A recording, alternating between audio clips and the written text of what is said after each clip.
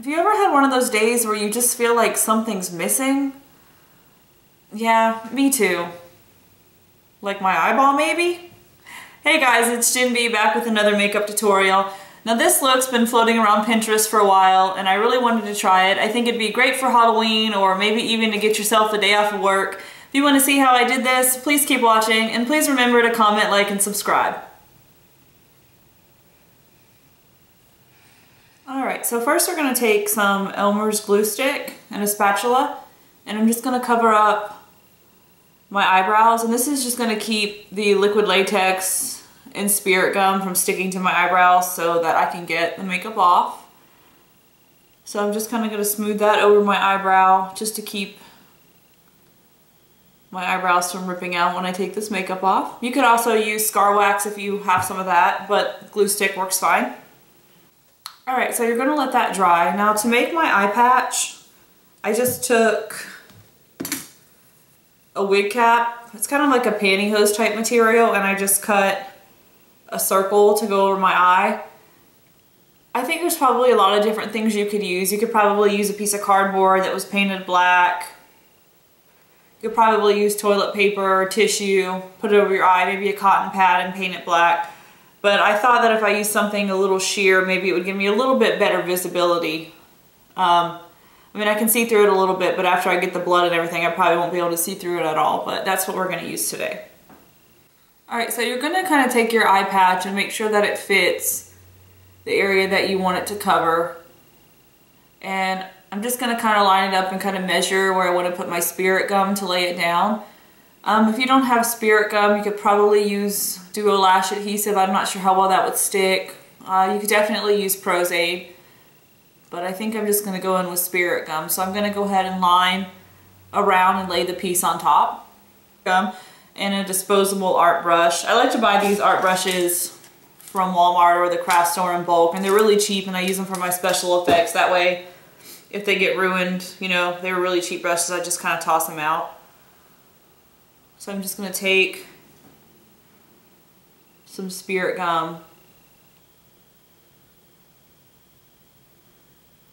I'm kind of guesstimating where my patch was. You could always take your patch and hold it over your eye and take some powder and dust around the edges and that would give you a better idea of where to put the spirit gum.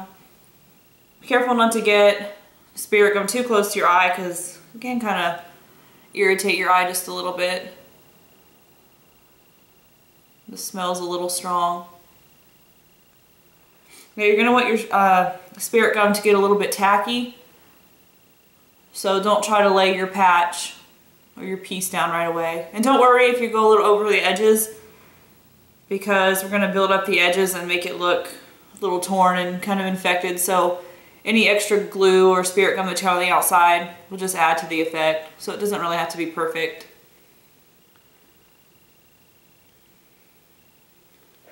Should be interesting to see when I get the patch on how well I'll actually be able to see with one eye.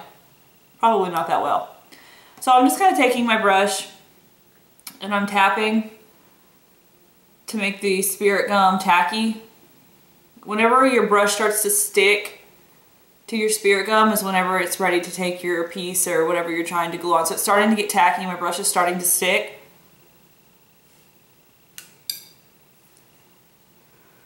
So I'm just going to take my patch and I'm placing it right over that spirit gum.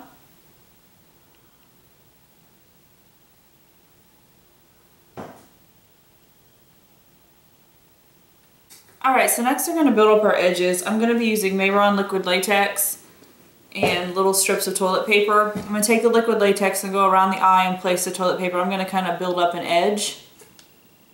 And I'll be using another disposable art brush for my liquid latex. And with your toilet paper, if you're gonna be doing things like this, I actually prefer the cheap toilet paper, but my husband's a high roller and he likes to buy the expensive quilted northern with pattern on it, which I don't really like to work with. Um, but you're gonna wanna tear it in half to make the sheets thinner. And you're not gonna wanna have any hard edges or any square shape to it. So when I kind of get them, I kind of like to tear it up into messy pieces without clean edges. just gives a more realistic appearance when you don't see those straight edges. So if you're gonna be using toilet paper for special effects, buy the cheap toilet paper and use that. So just kind of make the pieces jagged. So I'm just put it in this plastic container so I'm not cross-contaminating and I'll just peel it out later. I'm gonna take a little bit of MAC face and body and I'm gonna add a couple drops to the latex just to give it some color. That'll make it a little bit easier to blend. You can also buy liquid latex in flesh tone in different colors, but you can add foundation to it and give it more of a skin tone color.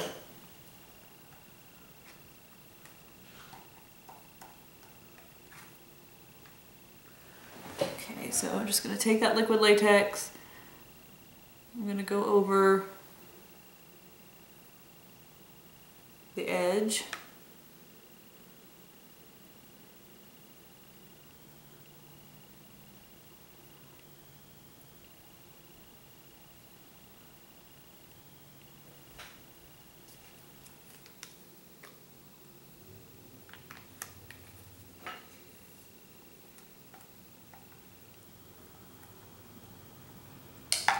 Give that a second to dry. I'm going to tear off my little toilet paper strip.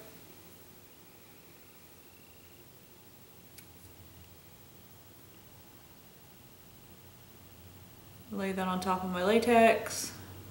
And don't worry about being perfect with this. Remember, you're supposed to look like your eye got ripped out, so I would assume if that happened to you, for whatever reason, it wouldn't be a good clean rip.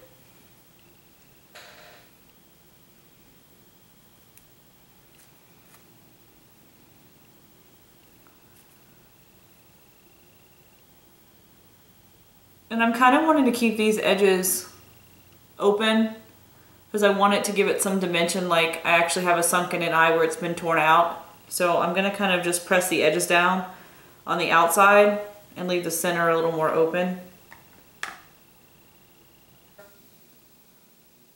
Coat, I've given the first coat a chance to dry. I've gone back and painted another coat of liquid latex. So I'm just going to continue to lay the little torn pieces of toilet paper over top of that.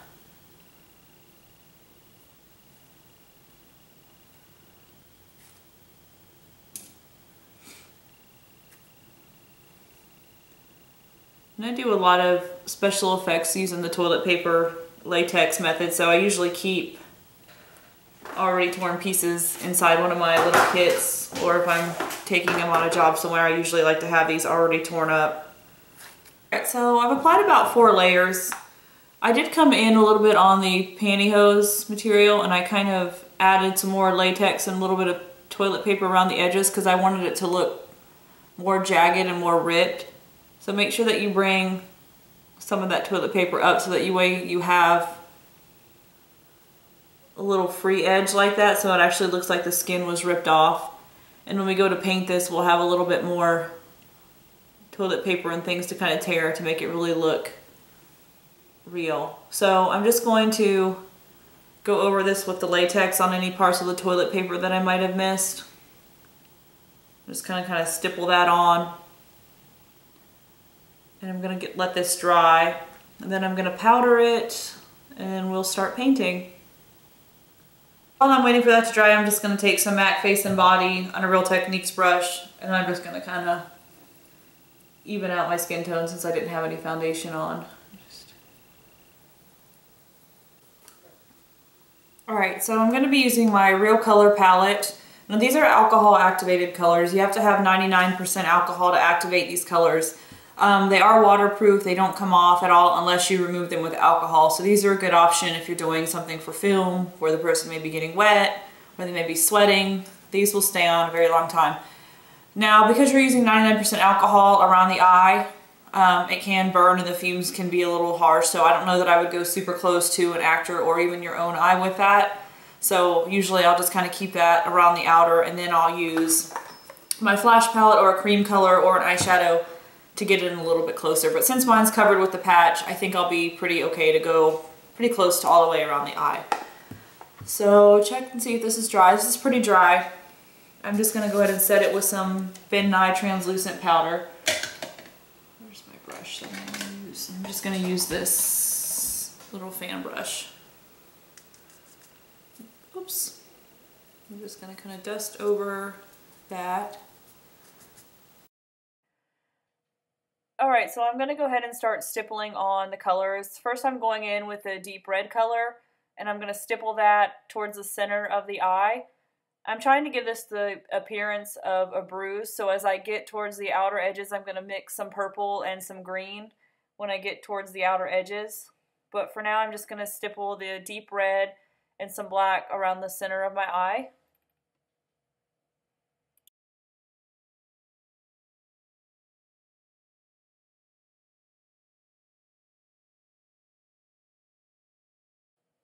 Alright, so now I'm going in with that darker purple color and I'm stippling it around the edges. You almost want this to look like a gradient effect. If you look at a real bruise or a real injury, the colors kind of fade into one another. Uh, there isn't really a harsh line or a stopping point, so kind of blend the edges out. And there I'm showing you can use a sponge with texture if you don't want to use a brush, and that can help give the good appearance of bruising. Flash palette, a clean spatula. Or injury. take out the black. That's too much. And I'm going to take the black and I don't know what kind of brush I want to use. I'm trying to find a brush with one eye. Oh, maybe I should move this to my good eye so I can see. Mm. Go with this one. Alright, so we're going to take the black and I'm just going to darken up around the wound on these edges. Anywhere that you may have not covered your toilet paper completely. Some Ben Nye's Fresh Scab and a clean spatula.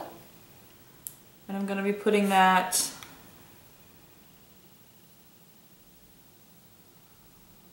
around the edges of the wound on the inside.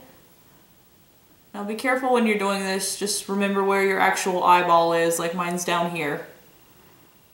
I think the little pantyhose screen is probably enough to kind of protect it, but I'm just going to be careful when I get to the center because it is pantyhose and I think product can probably seep through, so I'm just going to kind of be careful. This fresh scab is great. It gives that wet gross appearance. So I'm kind of picking up my edges with this because I'd like to see that skin or toilet paper kind of hanging off and kind of flopping. Alright, so now I'm just going in with some fake blood. And I'm just going to use the back of a makeup brush. And I just put this little piece of paper towel down because I didn't want to get fake blood on my shirt because I'm going to do another video after this. Alright, so we're just going to take fake blood. Let me move this so I don't spill it all over everything. This can be quite messy.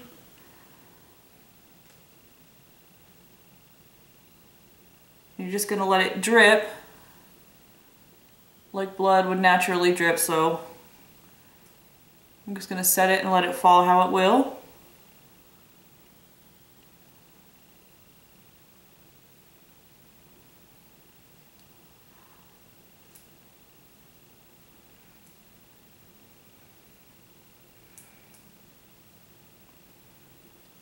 Ugh, don't Don't go in my mouth. Oh. It actually doesn't have a bad taste, but I just really didn't want it in my mouth.